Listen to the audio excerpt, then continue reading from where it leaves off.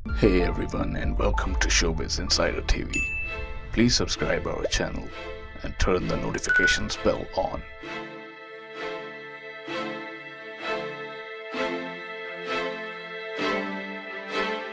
The episode starts with Barry teaching Dibny how to be a superhero. Despite of telling him how to use his powers, he tells him to be a human first. Character of Ralph Dibny is getting complicated with every new episode. Fans of Flash think that Dibny's character is being prioritized over Caitlin, Iris, and Joe's, although Caitlin has the longest scene in this episode.